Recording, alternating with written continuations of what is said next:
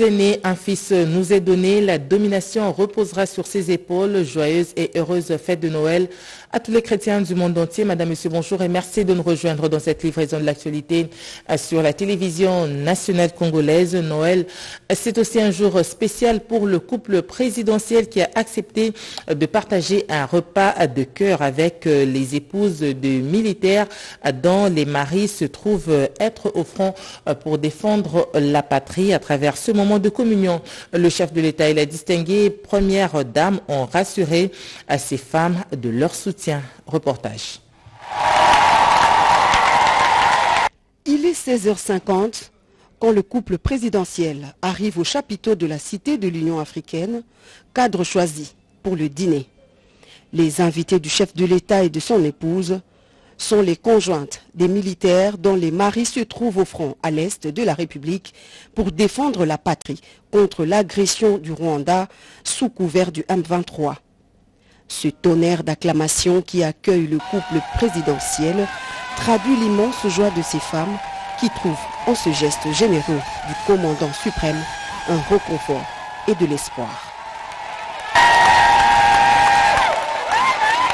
Occasion pour le président de la République de réitérer sa promesse faite à Kitona devant les recrues. Je ferai mien les problèmes des militaires et de leurs familles respectives, credo du président de la République. Kaka na rappelé bino promesse o nasalaki liboso mapinga na biso tant nakendeki kotala ba recrue ya sika na Kitona.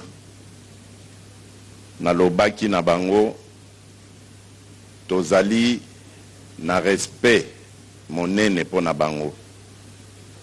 Mpe bango batala kaka likambo etali misala na bango. Oyo etali mabota na bango ekomi likambo na ngai.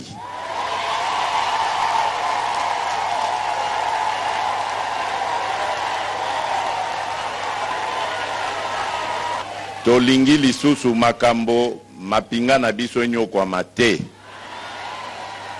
mpo nalobaka toujours ke soki na mboka na biso oyo totikali na bapatriote baza nde na mapinga na biso. Bato oyo bandimi kokufela ekolo kobundela ekolo mpo na eloko moko te. Bazali kokende na bitumba ayebi bamisusu bayebi ata esika mwasi na bana bakotikala te yango nalobaki nangi nalakisa signe oyo nalingi bamama oyo nyonso basi ya baoyo nyonso ya bandeko na biso ya mapinga bazali na front baya topartage na bango repas ya noel ndakisa oyo ezali mpe kosalema na minute oyo ezali mpe kosalema na bunya ezali mpe kosalema na beni mpe na goma. Moment de partage moment de reconfort dans une ambiance de fête matérialisé par ce repas de cœur partagé en mode self-service.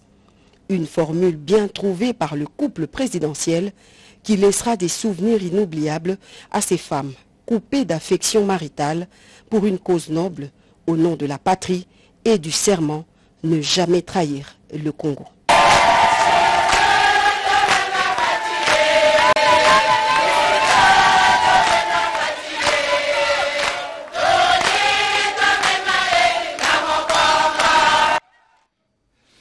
Et au chapitre des réactions, les femmes des militaires conviées à ce dîner de Noël par le couple présidentiel ont toutes à l'unanimité salué ce geste. Reportage.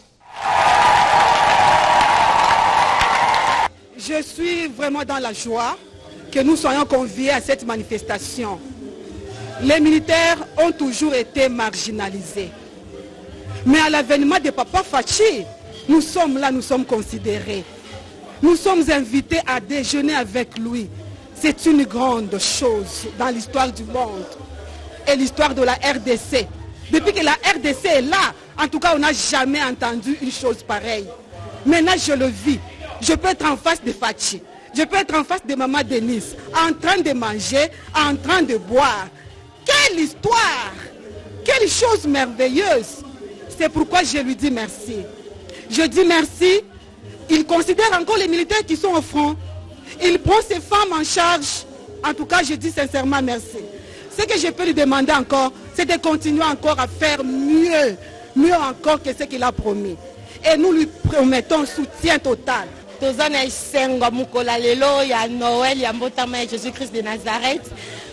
président basoda basa bamapinga alobi te afete na biso elongo. Odela de ça akaniseli mpe na bana na biso mibali na biso. Eloko esalami esalama nanu te. Banda banda bambula toyeba baprésident baleka. Batikaka kovanda boye te na basi ya basoda.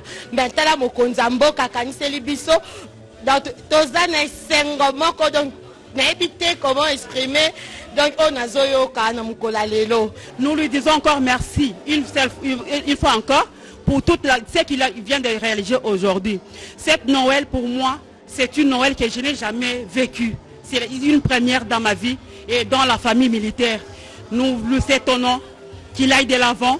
Nous sommes là et que nos enfants soient instruits, que nos familles militaires soient respectées, soient bien logées, soient bien nourries, que nous aussi, les, les- femmes militaires, que nous ayons la valeur comme toutes les autres femmes que nous voyons par-ci ou par-là. tutusanka bwa mfumu wetu wa chitunga bwa kutubikila ni president wetu faci wetu. Antuka kacha ba- kata ba- bankambo wetu tonu lelu. Msango wa kumpala tuja tunwa ni fumu wa jutunga faci wetu nzambo ya kulama. Antuka to tubakaci babasalai tu- di- tu- ni disonka disanka dipita disanka dipita bwa faci wetu mutubikila bakaci babasalai lwaku tusomba nenu tunwa nenu mwabumwa antuka faci wetu nzambo wa izalela. Aka- nzambo wa izalela akulama akulama faci wetu tudi kumpala we kumpala twetu babakaci babasalai tudi kunyima kweba. Antuka ya boye nano esalema te mpe nano ezala te antuka président na biso antuka maboko e- akende liboso vraiment akende liboso totombeli. Antuka nzambe wana azala liboso na ye vraiment. Ya boye nano ezala te. Nano ezala te vraiment. Nano totikala komona moto ya boye te vraiment. Tolie na ye longo tofete na ye longo. Antuka nzambe wana azala liboso na ye vraiment. Mi nashukuru mungu kwa siku ya leo ya noel. President fachi beton felix chisekedi wa chilombo anasema leo afurahi na bamama bote babibi ya basoda. Inatupa furaha sana. Depuis mukini ilianzaka dunia ilianzaka. Tunapita bapresident bote me yenjo wa kwanza anakula na bamama anaishi na bamama anashikia bamama pe anarepondre kushiku ya feti ya leo kuzalikwa kwa yesu masia. Leo yeye anazalikwa pe venza na bamama na batoto yetu. Wanatufurahisha. Ntuka tuna furaha sana. Mungu endelee kumuchunga mubariki ashisabwe tena presidence. Twende kumbele bamama bababa yetu babwanetu bote basha kwenda kule kufront yeye abakia tusutenir. Shina batoto yetu mumanyumba byote antupatia bya bule hospitali ya bule mai ya bule masomo ya bule. Njoo ile tukunamwomba tena. Mungu endelee tena kumbele kuzidi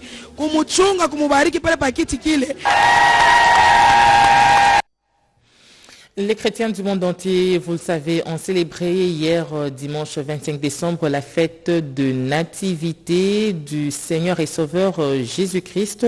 Nos reporters euh, Raymond Marie-Lélo, Chimène Dondo, Siande Emaka ont fait la ronde de quelques églises afin de communier avec les chrétiens. Un seul message a retenti dans les églises chrétiennes.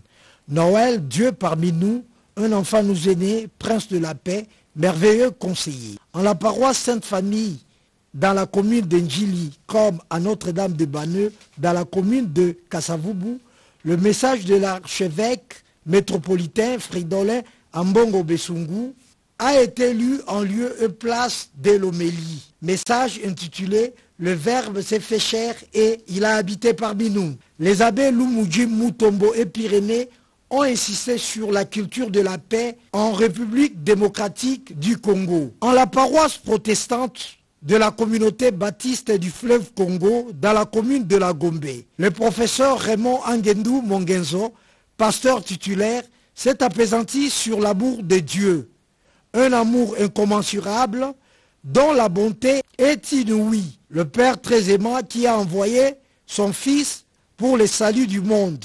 Un autre temps fort de cette célébration de la Nativité était la lecture de la lettre pastorale du représentant légal de l'Église du Christ au Congo, lue par la pasteur Foura Ngongo. Une correspondance invitant les Congolais comme les protestants à s'enrôler massivement. En la communauté pas oracle de l'Éternel, dans la commune de la Gombe, le pasteur responsable a brossé brièvement le choix de Dieu sur son peuple, en acceptant que son fils prenne la condition humaine. Enfin, dans le poste de l'armée du salut, dans la commune de Kalamou, le colonel Grace Matondo, représentant légal de cette communauté de peuple de Dieu, a exhorté ses frères et sœurs à la réconciliation. Pour ce faire, chacun doit se réconcilier avec Dieu, avec soi-même et avec son prochain, afin de faire de la République démocratique du Congo un havre de paix. Noël, Noël, Noël, la joie parfaite. Et puis, 300 enfants orphelins ont passé la fête de Noël dans une ambiance festive. Ils ont partagé un repas de cœur et ont reçu des nombreux cadeaux. On en parle avec euh, Diane Balaka. Le mois de décembre réputé mois de partage à travers la fête de nativité de Christ et de la Saint-Sylvestre. Cela trouve tout son sens à travers la remise des vivres et non-vivres effectués par Afriland aux orphelins de la ville de Kinshasa. La cargaison a traversé le centre-ville pour atterrir à Lupen, à l'orphelinat Cri des orphelins et à Selembao pour redonner le sourire aux orphelins de la main de compassion.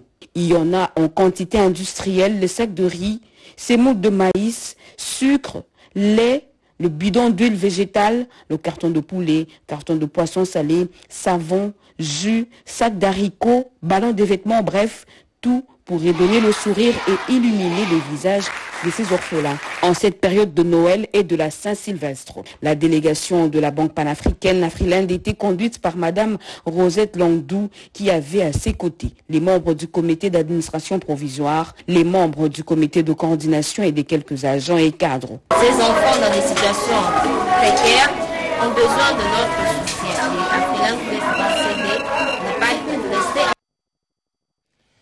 La conception de la fête de Noël aujourd'hui est sujet de plusieurs polémiques. Notre consoeur euh, Fifi Mukundi nous propose de suivre ce dossier.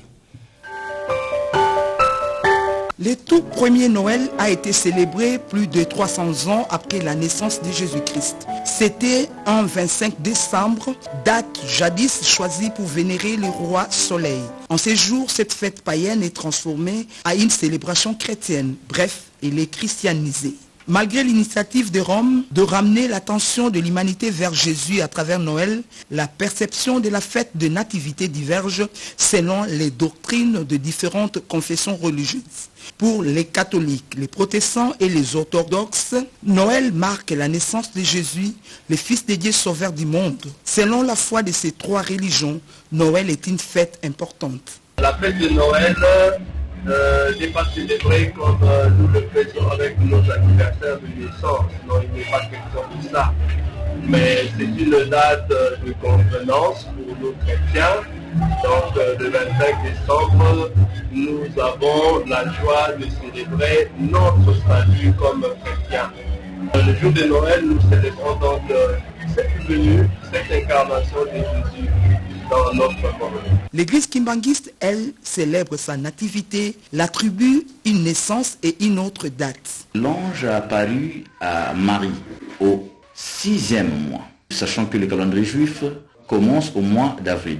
Commençons du mois euh, de septembre. Lorsque vous arrivez au mois de décembre, ça fait exactement 4 mois. Même sur le plan scientifique, on ne sait pas faire une démonstration qu'à 4 mois l'enfant peut naître. Les médecins, les scientifiques euh, ne peuvent pas nous contredire. Et alors lorsque vous comptez le quatrième mois, donc euh, le mois de janvier devient le cinquième mois, février, mars, avril, mai, cela fait exactement 9 mois. Donc c'est très facile de comprendre en s'appuyant dans les Saintes Écritures que Jésus est né exactement le 25 mai. Les témoins de Jéhovah qualifient Noël d'une fête païenne. Selon eux, elle tire ses origines des rites mondains, non de la Bible. Nous ne participons pas aux festivités de Noël pour une raison biblique très simple. Selon la Bible, Jésus a demandé à ses disciples de célébrer sa mort, non pas sa naissance. Ça, c'est la raison principale. Il y a des raisons connexes à cela. Par exemple, la Bible ne dit nulle part que Jésus est né le 25 décembre. Ça veut dire que cette date n'a rien de biblique. Pour certains pasteurs, les chrétiens sont appelés à repousser les discussions stériles. Cette polémique est vaine car Jésus est glorifié à travers Noël. Les gens s'attendent spécialement à la date du 25. Mais je voudrais préciser que la fête de, du Dieu Soleil, solstice, était célébrée pendant toute une période. mais aussi, euh, le Dieu Soleil qui était célébré fait allusion en réalité à un autre soleil.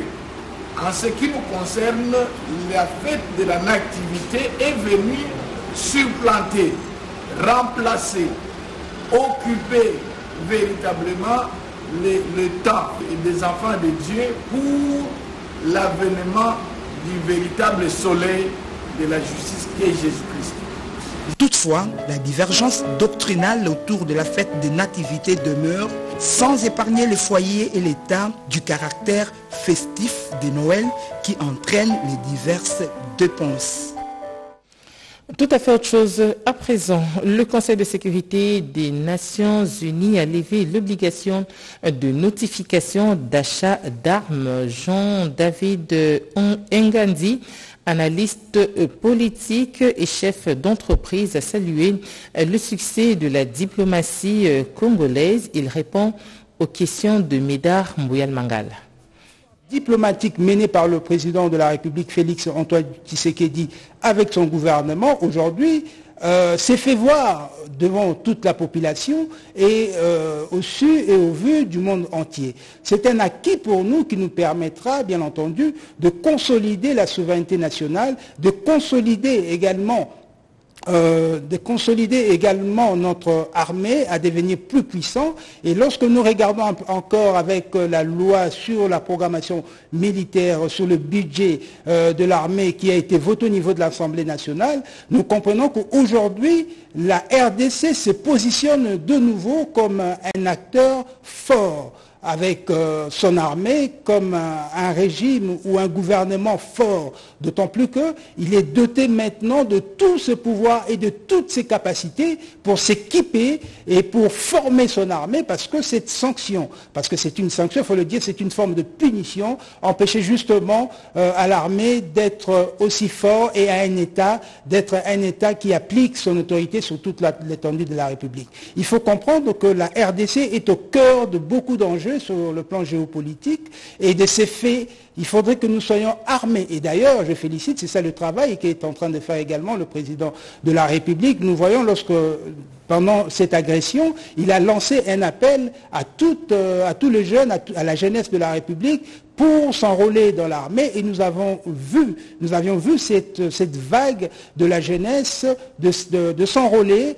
et de s'armer de cet esprit de la République, cet esprit citoyen. Donc c'est ce sentiment nationaliste qui doit nous animer et on doit travailler de façon à consolider ce que j'appelle le capital citoyen, ces sentiments nationalistes, à savoir que la RDC, la République démocratique du Congo, est un grand pays et il a besoin de notre nationalisme.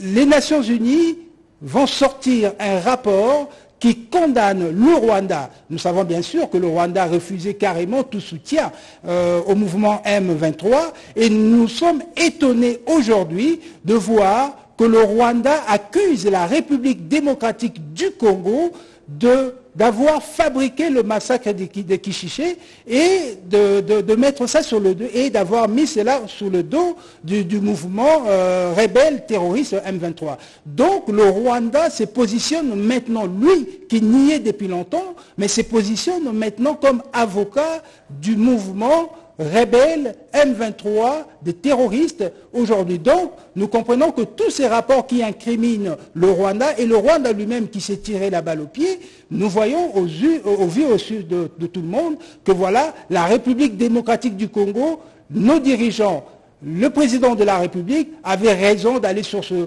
point-là, de pointer réellement qui était l'auteur derrière le mouvement terroriste M23.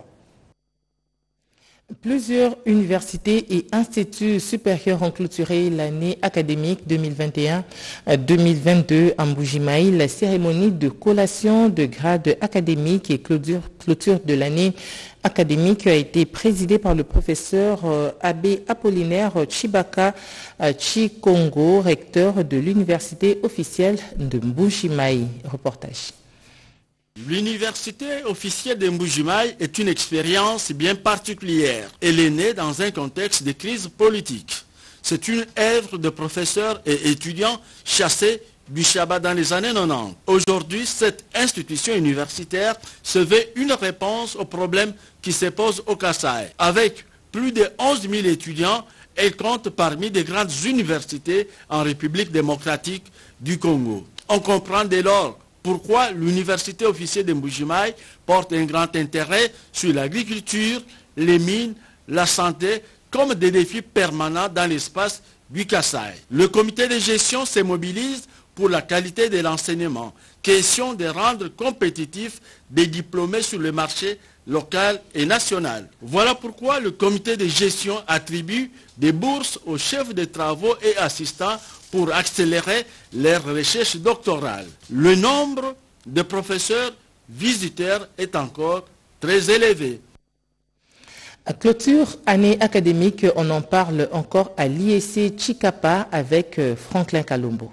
C'est samedi 24 décembre 2022 que l'Institut supérieur des commerces de Chicapa a lancé pour la énième fois sur le marché d'emploi des nouveaux produits. Gradués et licenciés, ils sont devenus ces jours à l'occasion de la double cérémonie de clôture et collation des grades académiques, cérémonie grandeur nature présidée par Ferdinand Pochampampoy, ministre provincial de la Santé faisant fonction de gouverneur de province ad interim.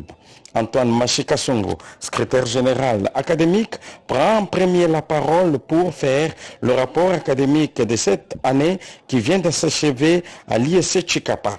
Paul Modeste Gissone, DG de cette institution, présente en grande ligne dans son adresse des circonstances la politique générale de l'ISC Chicapa proclamation des résultats par les chefs de différentes sections, suivi de la collation des grades académiques par le directeur général. Nous, chef de travaux Paul Modeste directeur général de l'Institut supérieur des commerces IEC Chicapa, vu les procès-verbal du jury chargé de procéder aux examens de la dernière épreuve conférant aux candidats précités les grades des gradués et je vous félicite. Procédant ainsi à la cérémonie de clôture de cette année académique, Ferdinand Pochampa, gouverneur de province ad intérim, s'est ainsi exprimé. Qu'il me soit permis de rendre un vivant hommage au président de la République son Excellence Félix Antoine Tshisekedi Chilombo pour avoir priorisé la formation de la jeunesse congolaise. C'est dans cette ambiance chargée d'émotions, chansons et danses que s'est clôturée cette journée riche en couleurs à l'ISC Chicapa. Étude sur la gouvernance fiscale et investissement en RDC, c'est le titre d'une thèse doctorale que nous propose Rodépanda dans ce reportage.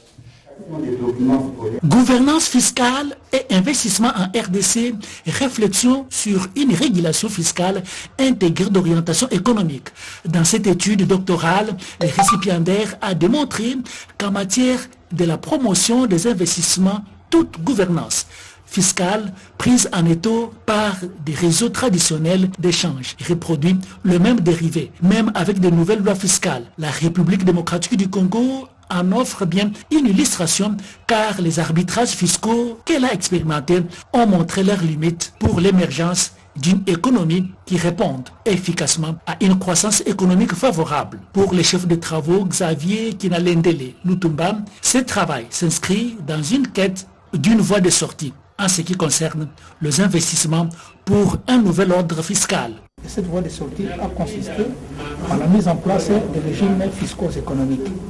C'est-à-dire qu'il faut qu'on puisse dépasser la codification fiscale sectorielle qui ne nous a pas apporté de résultats. Vous savez, le, niveau auquel se trouve aujourd'hui la RDC, ce n'est pas le niveau où on attendait. Ainsi que nous avons pensé qu'il fallait absolument dépasser la codification fiscale sectorielle et penser maintenant à la mise en place des régimes fiscaux économiques. Après évaluation et délibération à huis clos par le jury composé des éminents professeurs, cette étude a été jugée recevable. Ainsi, le chef de travaux, Xavier Kinalendele, a obtenu la mention grande distinction avant de lui conférer les grades de docteur en sciences politiques et administratives, suivi de la remise des insignes de l'Université de Kinshasa pour une jouissance scientifique. À la centrale électorale, l'heure est euh, à l'enrôlement des électeurs. Freddy Kita a sensibilisé la population de Bandalungwa à s'enrôler massivement.